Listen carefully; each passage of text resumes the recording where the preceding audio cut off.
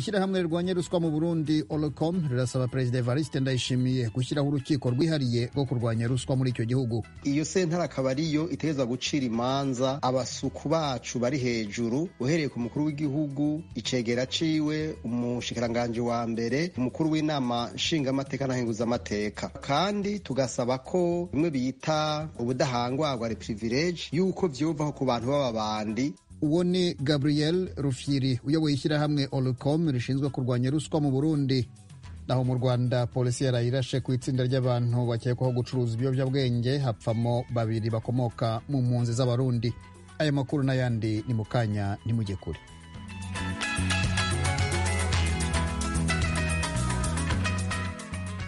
Amakuru yacu tuyahere mu burundi aho amashyirahamwe arwanya ruswa muri icyo gihugu asaba umukuru w'igihugu gushyiraho urukiko rukuru nk'urwego rw'ubutabera rushinzwe by'umwihariko kurwanya ruswa mu gihugu.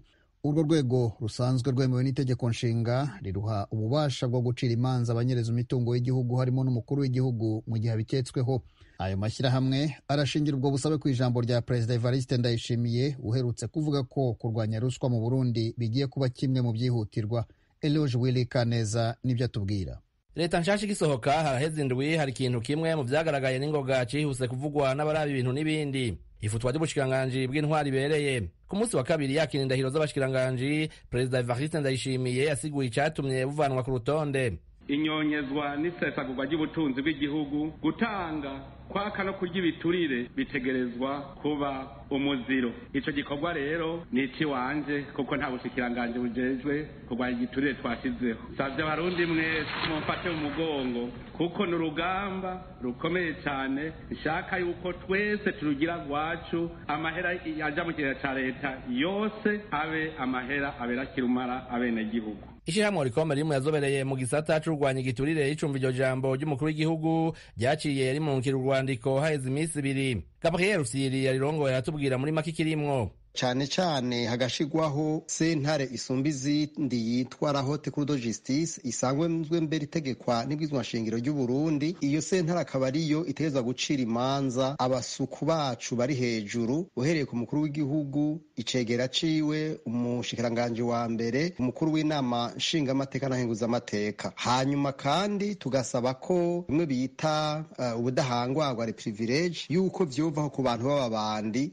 biba igihugu. Ikindi twasabye nuko abantu baterekana amafaranga yabo canke ibintu batunze ibi twita mu gifaransa enrichissement illicite ko bogerageza uburyo bwose bushoboka kugira ngo bishobore guhanwa. Uko guhanwa no gutuza ba kaboko no mw'ishirahamwe forcone f basanga ari ngombwa. Umukuru waryo jeha hakizimana bona mbere atani ikigoye kirimwo. Mw'ishirahamwe turongoye turemeza ko ata kigoye na kimwe gishobora kubaho mu gihe uh, umukuru wo hejuru ahagurukiye ikintu kanaka tubona ko rero ibyo yavuze bishoboka hisunzwe n'icivugo yagiye arashikiriza mu kwiyamamaza kivuga giti turi kumwe twese birashoboka. Twibaza ko abarundi bose bagiye hamwe bagafasha ico babonye bakiduma ku rutoki nta nkeka ko ako karanda kabi koranduranwa n'imizi. Rero tuvuga ko atakidashoboka kandi ata n'ikigoye mu vyo kurwanya ibiturire n'isesagurwa ry'ubutunzi bwa leta. Tukizera ko ba kaboko nabo bagiye kwikubita agashi maze bumve ko uguteza imbere igihugu ari byo biruta ibindi. Gutyo intwaro ishingiye ku guteza imbere igihugu itsimbatare maze abarundi bose babone ko bariko barakorerwa n'abo bishiriyeho rusiri nawe agaruka ku bisata vyihutirwa kugirwa kwitohoza muri kino gihe. Nuko nk'idosiye ya misome ibiramwo ubusuma bwinshi burenze twifuza rero yuko amafaranga yibwa muri iki gisata ca misome na yone yokurikiranwa. Ikigira kabiri ni amafaranga ava mu butare ivyo navyo nigomba gukurikiranwa kuko biraboneka neza yuko harimwo ubusuma budasanzwe. Kigira gatatu nuko bije ya leta mu masoko ya leta atangwa biragaragara neza ko amafaranga menshi yigira ubwa mbere mu bari mu mugambwe CNDD-FDD kuko abadandaza benshi ubu niyo bimukiye kubera bazi ko baza kuvoma no gusoroma ivy'abanyagihugu. Mukaba muzi neza kandi ko hariho n'abantu atari abarundi b'abanyamahanga bakora gutyo mubwo batari muri uwo mugambwe kugira ngo basahure bibe igihugu kubera bazi ko ariho baca baronka amasoko adaciye mu mahiganwa. Ikindi gisata ni igisata kijanye no gukotesha amazu aho usanga leta yibwa amafaranga arenze. Avuga kandi ko afise icizere ku gushaka k'umukuru w'igihugu mushasha na rijya yiyemangiye ko igiturire ari umwansi w'iterambere. Twe twifuza mu ijambo rimwe yuko aba bandi bafise inguvu mwa kino kiringo gusumvya leta bobibazwa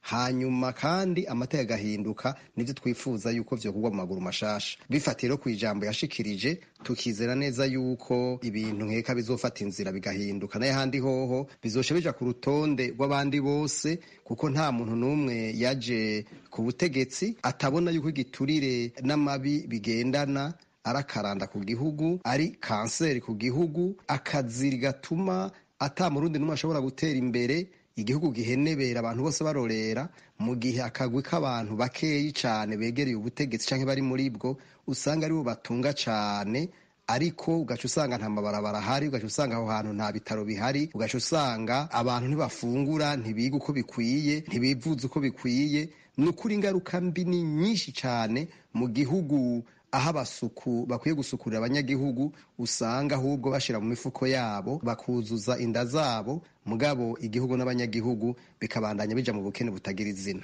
Urutonde rwakozwe n'umuryango mpuzamahanga uhana intwari ibereye transparency international mu mwaka w'ibihumbi bibiri na cumi n'icyenda ku bihugu ijana na mirongo umunani ku isi. Uburundi buza mu kibanza c'ijana na mirongo itandatu na gatanu bukaba mu bihugu cumi na bitanu vya mbere birangwamwo ruswa ku isi. Eroge urikaneza ijwi rya amerika.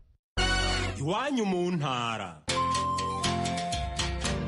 Iwanyu mu ntara. Ni ikiganiro kibashikiriza amakuru avugwa ahanini mu ntara no mu makambi y'impunzi z'abarundi ari muri tanzania mu rwanda muri uganda no muri repubulika iharanira demokarasi ya kongo iwanyu mu ntara. Na karyo ijwi rya amerika riha umunyagihugu aho aherereye ku gatumba mu ikambi kugira yagira abandi uko abayeho mu buzima bwiwe bwa minsi yose. Iwanyu mu ntara. N'icyanyu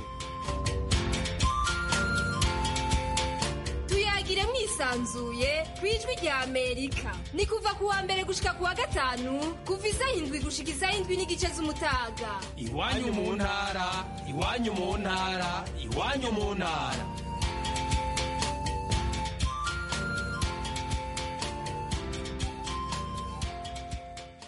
Ishami ry'umuryango w'abibumbye ryita ku mpunzi rirasaba iperereza ryimbitse ku rupfu rw'abantu babiri. Polisi y'u rwanda yari yiciye ku mupaka w'u rwanda na tanzania. Yatangaje ko ari impunzi z'abarundi zakoraga ubucuruzi bw'imiti y'amagendo n'ibiyobyabwenge. Mu kiganiro cyihariye umuvugizi w'ishami ry'umuryango w'abibumbye ryita ku mpunzi yahaye ijwi rya amerika yavuze ko ribabajwe cyane n'urupfu rw'abo bantu ryari rishinzwe kurinda. Pierre Claver niyo nkuru aratubwira ibindi kuri iyi nkuru igipolisi cy'u rwanda cyatangaje ko kuri uyu wa gatandatu mu mutwenzi abajejwe umutekano mu murenge wa mahama mu karere ka kirehe barashe umugwi w'abantu bariko bagerageza kwinjiza ibiyayuramutwe baciye mu ruzi akagera rugaba u rwanda na tanzania. Ni hafi cyane nko ku metero amajana atanu yahubatse ikambi y'impunzi z'abarundi ya mahama. Ku rubuga rwa twitter igipolisi cemeza ko babiri muri abo bantu barashwe bakahasiga ubuzima bahavuye bamenyekana ko ari impunzi ziba aho mu ikambi ya mahama. Amakuru ijwi ry'amerika ryanonse ni uko amasasu yavugiye ahitwa ku ibuye ry'urukundo iruhande y'ahahingurigwa amazi akoreshwa muri iyo nkambi ya mahama. Abishwe boba bahora bakora umwuga w'uburovyi mu ruzi akagera. Umwe yaba muri village ya cumi n'indwi uwundi nawe muri village ya cumi n'umunani. Bimaze kumenyekana zimwe mu mpunzi zabwiye ijwi ry'amerika ko ubwoba bwazitekeye. Inama yo kubahumuriza yarabaye inyuma y'umutaga. Abaserukira ubushikiranganji bujejwe impunzi n'abaserukira akarere ka kirehe basavye impunzi kwiyubara birinde ibikorwa bibujijwe n'amategeko kandi ko bakwiye kwigenza neza mu gihugu c'abahaye indaro. Yamara bamwe muri izo mpunzi bavuga ko urwo rudandazwa rw'ibiyayuramutwe canke imiti itemewe n'amategeko atagwahora rubera muri iyo kambi. Bagasaba ko hoba amatohoza. Ishirahamwe mpuzamakungu hcr ryitaye impunzi rimenyesha ko ribabajwe cane n'urwo rupfu rigasaba abategetsi gukora amatohoza akwiye kugira ngo hamenyekane neza ingene vyagenze. Umufasoni elise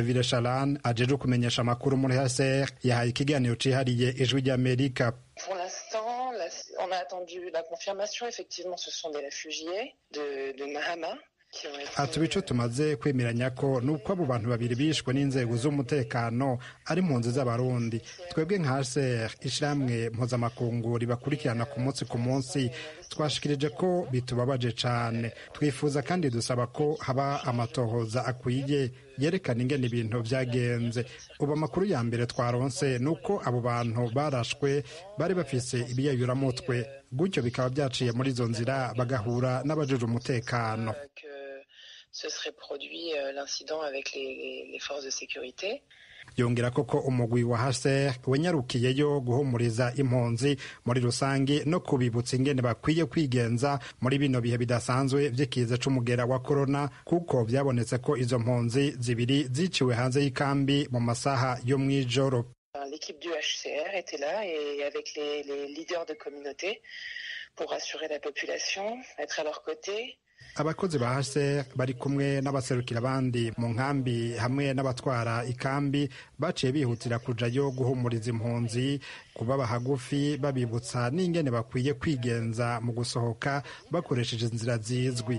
N'amasaha rero yo gutemberamwo muri iki gihe c'ikiza ca korona nk'ubu murumva ko izo ngorane zabaye mu masaha kumi z'ijoro mu gihe atawemerewe gutembera kuva isaha zitatu z'ijoro gushika saa kumi n'imwe z'ubuca.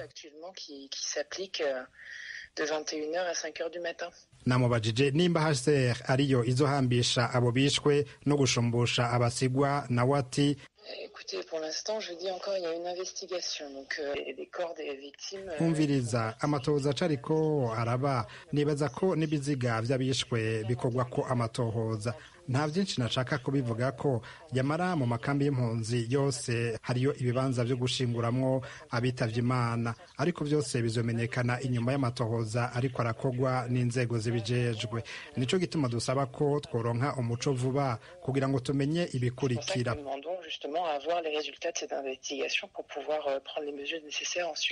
Hcr ryemeza ko ikambi ya mahama irimwo abarundi barenga ibihumbi mirongo itandatu atabugizi bwa nabi bukabije bwari bukunze kuvugwayo kuva yubakwa mu mwaka w'ibihumbi bibiri na cumi na gatanu nk'uko biri mu yandi makambi. U rwanda ruri mu bihugu vyakiriye impunzi z'abarundi ziharugwa mu bihumbi amajana ane zahunze indiyane za politike zadutse mu burundi mu mwaka w'ibihumbi bibiri na cumi na gatanu bivuye ku ngingo ya nyakwigendera perezida peter nkurunziza yo kwitoreza ikindi kiringo nk'umukuru w'igihugu. Mu gihe abarundi bahungiye muri tanzania baharugwa mu bihumbi birenga amajana abiri babandanya guhunguka. Abahungiye mu rwanda bobo barenga gato ibihumbi mirongo irindwi na bibiri. Gushika ubu ntibarahunguka. Ni mu gihe umukuru w'igihugu mushasha mu burundi evariste ndayishimiye abandanya asaba impunzi zose zahungiye mu mahanga gutahuka gufashanya n'abandi barundi kubaka igihugu. Yamara aba bobo bavuga ko ico bahunze kitarahera. Pierre clave niyo nkuru kigali ku bwijwi ry'amerika urakoze pierre claver niyo nkuru turabaramukije bakunzi namwe banywanyi b'ijwi ry'amerika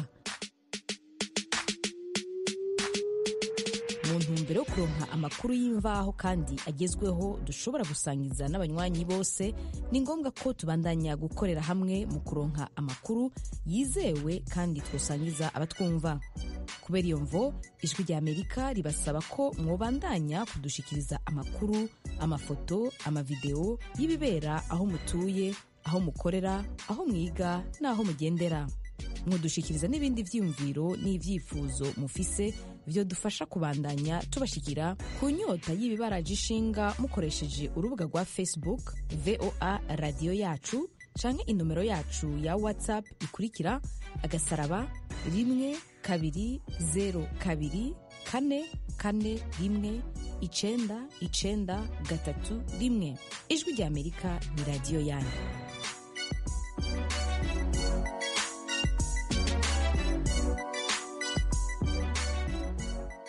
uburundi burashinja u rwanda gushimuta umuturage wabwo mu mazi y'ikiyaga cyohoha mu ntara ya kirundo. Ni amakuru yatangarijwe ku rubuga rwa twitter rwa minisiteri y'umutekano mu burundi.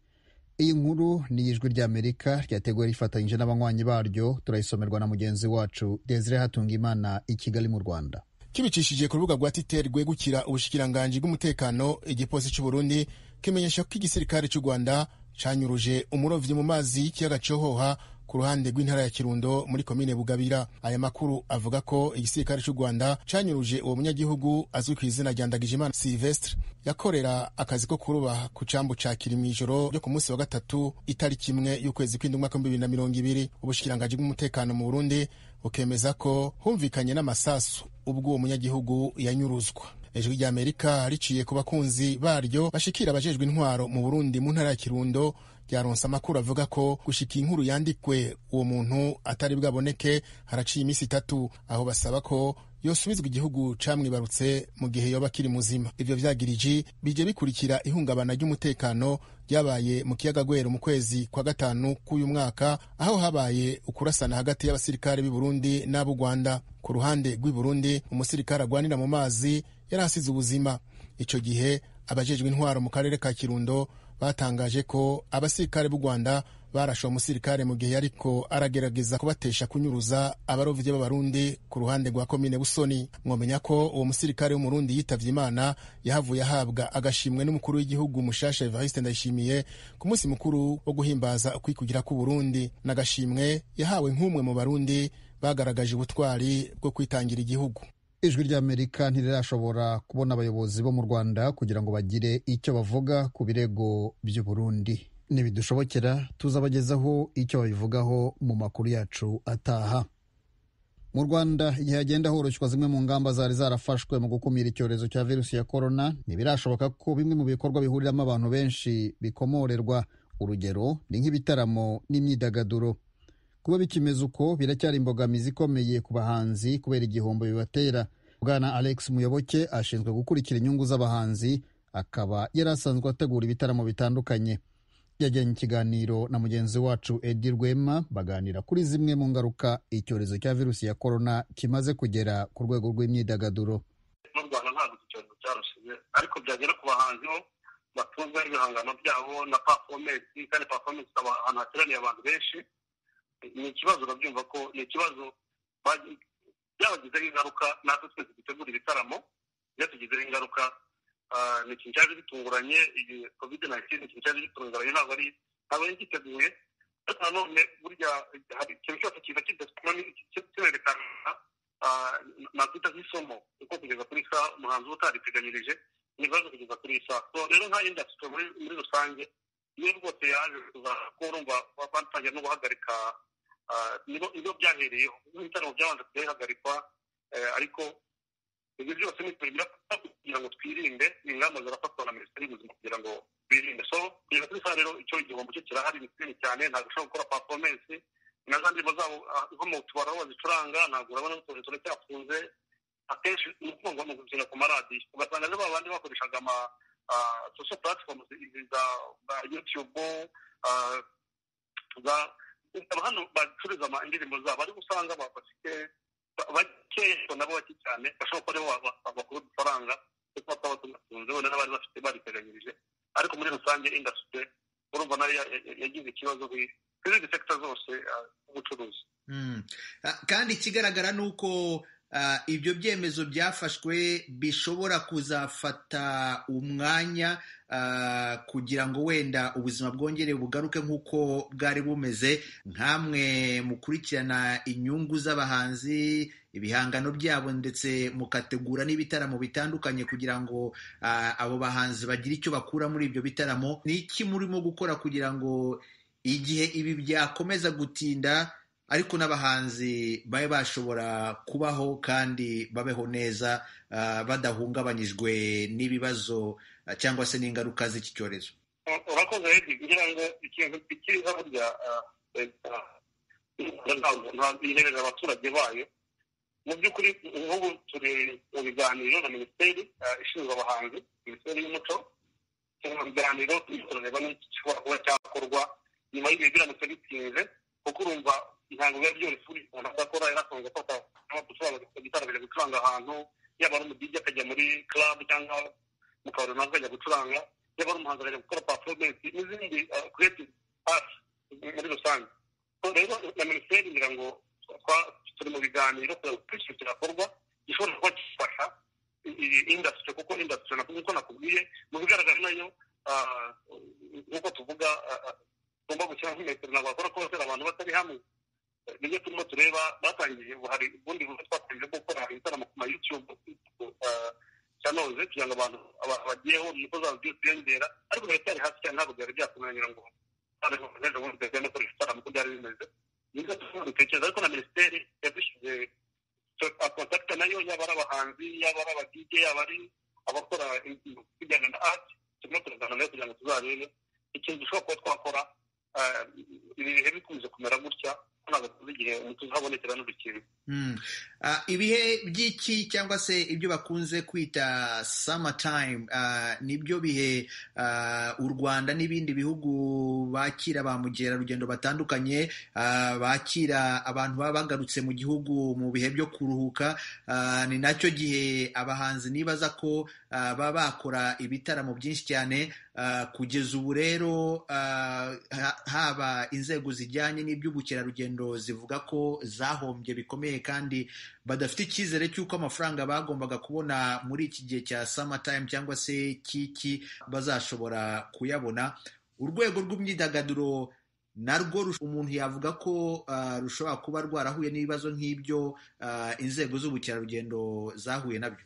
Nibyo urumva muri sama ni ho usanga abadiaspora abanyamahanga baza gusiga akenshi usanga ari bo baje ni ho haba n'ibitaramo byinshi cyane. Yaba ari ibitaramo by'abahanzi kuririmba yaba ari abantu bakora izindi ati so nabo rero mu bigaragara uruganda rwa muzika rwarahungabanye ruzanahungabana kubera ko kugeza kuri isaha abahanzi bari muri saba kuririmba ubu tuvugana abahanzi ni kuri bizeta yabikora abahanzi barimo kurikodinga indirimbo ariko iyo arayikodinga ugasanga ugasanga agira akenshi nanone ni kwa kuntu tugenda buhoro buhoro twigisha kugira ngo bamenye na intellectual property. Ku buryo bazajya ba iki gihangano kizajya gitunga umuhanzi ibi ni twagiye tuvuga mu myaka zingahe ishize abantu batari babyumva. Ariko buhoro buhoro nk'ubu ni bwo rugero natwereka iyo baba barabashije kwita icyo gihangano cyamuntu yaragiye kugisaringa deni amategeko agakurikizwa byari koroha kugira ngo umuhanzi abone ikintu gishobora kimutunze muri ibi so rero n'uruganda narwo rwarahungabanye n'izindi zose ntabwo ari gusa ko ubukungu bw'igihugu ni ho bakwereka yuko hari icyagabanutse muri aya mezi abantu bari muri muri gahunda ya guma mu rugo ntabwo barimo gukora n'abahanzi rero ntabwo barimo gupafominga iyo badapafominga rero urabyumva nawe habamo igihombo kandi ni ibisanzwe byatewe n'iki kibazo twese tubona kiri ku isi haha gusa naho muri aho ngaho muri amerika niko bimeze bwana alex muyoboke benshi bakunze kugaruka ku bijyanye n'ubuhanzi mu gihugu cy'u rwanda. Benshi bakavuga ko abahanzi batarafata uwo mwuga nk'umwuga wabahesha amafaranga cyangwa se watuma batera imbere cyane ukabatunga bakavuga ko muri iki gihe ibi bikwiye kubera abahanzi isomo ko bagomba kureba kure bakiteganyiriza ibihe nk'ibi biramutse bibaye bakaba bafite aho bashobora kugenda kugira ngo babe bagobokwa. Namwe niko mubona ibintu bikwiye kugenda cyane cyane ko uri umwe mu bafasha kubungabunga inyungu z'abahanzi. Ibyo ni ukuri ntabwo wabeshya umuziki tuvuge n'abahanzi muri rusange ariko ndavuga ku muziki bari bumbamo cyane.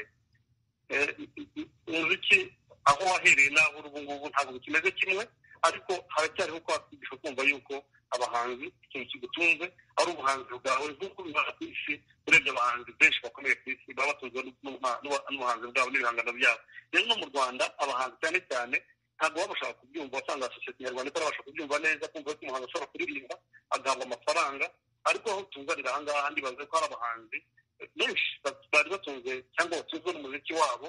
Nureba abahanzi bagiye bakora music ugasanga ataka bizinesi muri wa muziki we ni kwereka yuko n'undi abamureberaho ateretse ubu ngubu bato ariko za nyigisho ziracyagikenewe kugira ngo bigishwe dukomeze barebere n'ahandi kuko niba umuhanzi ashobora gufata amafaranga niba akoze igitaramo akabona miliyoni icumi akamera kuzinvestira ku kindi gihangano gikurikiraho nuko bateganya ko akabona miliyoni cumi n'eshanu cyangwa makumyabiri akoresha igihangano rero buhoro buhoro nk'uko u rwanda nyuma ya jenoside yakorewe abatutsi rwagiye rwiyubaka muri sekiteri zose yaba ari mu buvuzi yaba ari muri ndabona mu nzego z'ubuzima yaba ari muri education niko na music. Kuko icyo nakubwira nka minisiteri yaje gushyiraho kuganiriza inzego z'abahanzi zose no gushyiraho foramu iyo foramu kugeza kuri iyi saha nari nakurikiranye mwagiye mureba agerageza no gushaka uburyo n'abandi bimeze nabi cyane kuruta abandi babashaka ikigo cyabafasha none aha ngaha nk'abandi banyarwanda bose.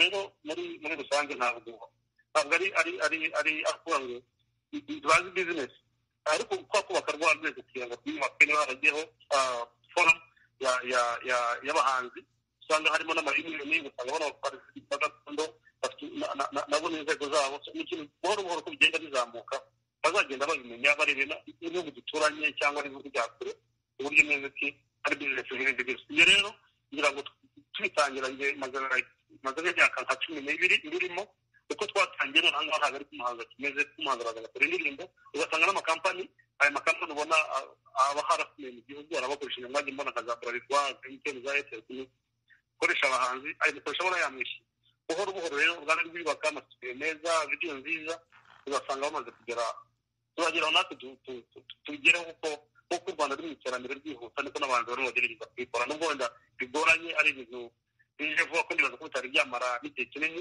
haje amafu usanga amasudiyo arahari abahanzi benshi baririmba bizagenda biza bwana muyoboke mu gusoza hari abavuga ko nubwo iki cyorezo cyasa nk'aho kigabanije umurego imibereho y'abantu yahindutse burundu ku buryo ushobora kuzasanga abantu batinya guhurira mu kivunge nk'uko byari bisanzwe mu bitaramo nk'ibyo mwebwe nk'abantu bategura ibitaramo ibyo nta mpungenge bibatera? Impungenge zose zirahari ariko nk'uko nakubwiye tugendera ku mabwiriza ya minisiteri y'ubuzima tugenda twereka aho bigeze mwakora ibi nk'ubu ejo bundi nk'uko twari muri lockdown baje kurekura abantu bamwe barajya mu kazi twatangira gukora ariko ntibavuga bati icyorezo kirasa nk'aho rwose tubashe kuba nk'aho twakigerageza kwigezayo buhoro bakarekura bakavuga bati noneho mushobora kuba mwajya muri twari twafungura club zafungura iterambere kongera gukora abanyarwanda n'abantu bumva. Kandi bumvira amabwiriza minisiteri ko ni cyo ishinzwe. Nayo mu gihe babitubwiye ndumva bitazagorana kuko n'abantu bakeneye kongera kubona ibirori bakeneye kujya muri stade bakeneye ariko mbere ya byose bakirinda.